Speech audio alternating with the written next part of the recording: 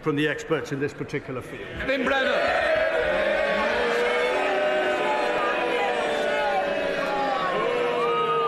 Thank, uh, thank, thank you very much, Mr. Speaker. On the issue, on the issue of tourism in Wales, a previous uh, Tory leader, when he resigned, actually not only visited Wales but bought a home in Wales.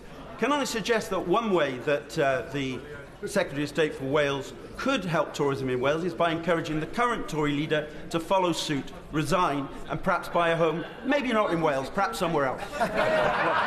Um, thank, thank, thank, you, Mr. Speaker. Perhaps I could encourage the uh, honourable gentleman to persuade his colleagues uh, in Cardiff, uh, uh the First Minister, to drop his ridiculous plans for a tourism tax, to drop his ridiculous plans for various other means of punishing successful businesses in Wales. And if he did that, actually, perhaps we could create some lasting jobs in Wales rather than simply uh, listening to his political protestations.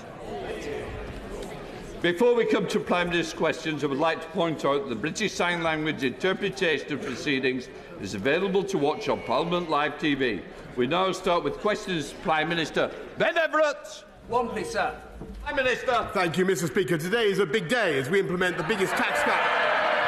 As we implement the biggest tax cut for a decade, increasing national insurance thresholds to make tax lower and the tax burden easier. These changes will benefit 30 million people across the UK.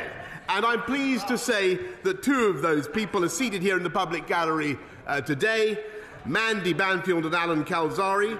A typical worker will now save £330 per year, with 70% of employees better off as a result. That is real money uh, for real people. Uh, Mr. Speaker, I'm sure the House uh, will also join me in wishing the best of luck to England and Northern Ireland, who are competing in the UEFA Women's Euro 2022 tournament, uh, which starts today, and I'm sure they will both make the nation proud. This morning, Mr. Speaker, I had meetings with ministerial colleagues and others. In addition, in addition to my duties in this House, I, I expect I shall have further such meetings later today.